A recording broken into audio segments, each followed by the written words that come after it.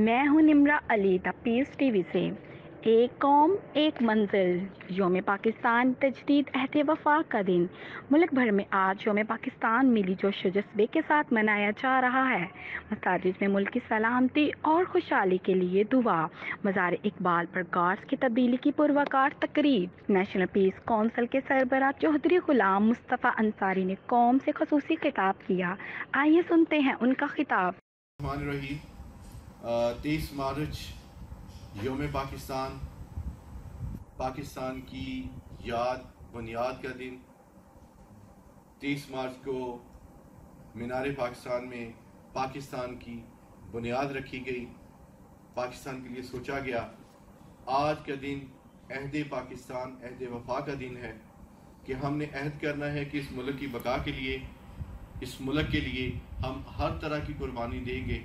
आज हमारे बड़ों ने खसूस बिलखसूस, पाक फ़ौज ने इस मुल्क की जो कुर्बानियाँ दी हैं, उसके लिए खराज तहसीन पेश करने का दिन है। मेरी तमाम नेशनल पीस काउंसिल के हर ज़िली अहदेदारान और ज़िली चेयरमैन से गुजारिश है पूरे पाकिस्तान में कि वो इस दिन को भरपूर तरीके से मनाएँ। पाकिस्तान के वफा के दिन को, पाक फ़ौज को खराज तहसीन पेश करें।